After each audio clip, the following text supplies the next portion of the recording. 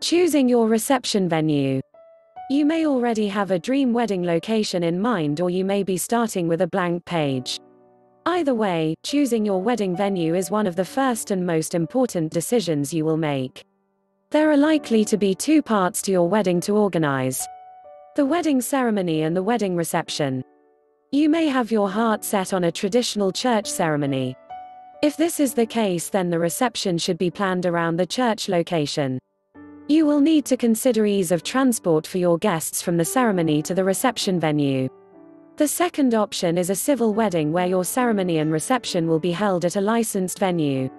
When you have decided on a church or civil ceremony, there are certain factors to consider. Firstly, the venue must look and feel right to you. You may have a particular style of venue in mind. Perhaps a castle, a manor house, or somewhere dramatic or chic.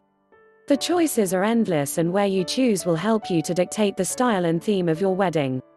The venue must be able to accommodate the number of guests you're inviting.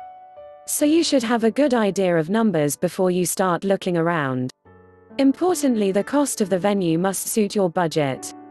Properly planned, your reception will become one of the most joyous parties you will ever host, so remember to savor every minute and enjoy it. The Wedding Guide UK is your perfect wedding planning partner and here to help you every step of the way.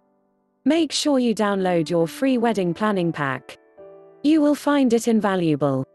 Happy planning!